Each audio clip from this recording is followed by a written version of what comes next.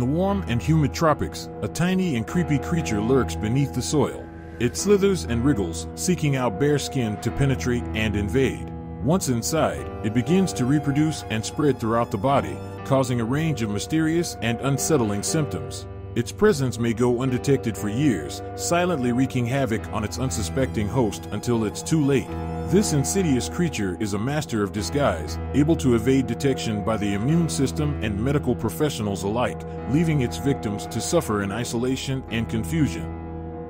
Can I introduce Strongyloides stercoralis? Strongyloides stercoralis is a tiny parasitic nematode. The adult female worms measure around 2 to 3 millimeters in length, while the males are slightly smaller, around 1 to 2 millimeters. A person walking barefoot on the soil can accidentally pick up some larvae of the worm. As the larvae travels through the person's skin, they make their way into the bloodstream and then to the lungs, where they climb up into the airways and are coughed up and swallowed. Once in the intestines, the larvae grow into adult worms and begin reproducing, laying thousands of eggs each day. Some of these eggs hatched into new larvae that passed out of the person's body in their feces, contaminating the soil and starting the cycle all over again. But here's the tricky part. Sometimes, instead of hatching into larvae outside the body, the eggs hatch within the person's intestines and the larvae migrates back into the intestinal walls, where they continue to reproduce and cause ongoing infection. This is called an auto-infection cycle and can last for years or even decades. A strongyloidiasis infection can cause a range of symptoms, including skin irritation, abdominal pain, diarrhea, and vomiting. In some cases, there may be no symptoms at all.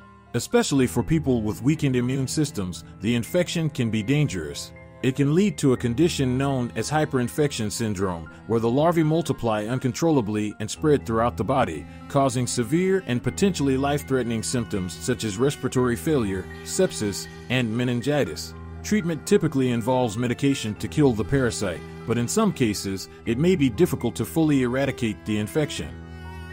Strongyloidiasis is found most commonly in tropical and subtropical regions, particularly in areas with poor sanitation and hygiene practices. It is endemic in many parts of the world, including Southeast Asia, Sub Saharan Africa, Latin America, and some parts of the southern United States. People who have traveled to or lived in these areas are at higher risk of contracting the disease. The following measures can help prevent strongyloides infection. Good hygiene practices such as washing hands with soap and water before eating and after using the toilet. Wearing shoes when walking on soil or in areas where the parasite may be present. Avoiding walking barefoot in areas where the parasite is prevalent, especially in tropical and subtropical regions proper sanitation and disposal of feces to avoid contaminating the soil with the parasite, treating infected individuals and their close contacts to prevent the spread of the infection. It's important to note that some individuals may be more susceptible to strongyloides infection, such as those with weakened immune systems, so they should take extra precautions to avoid exposure.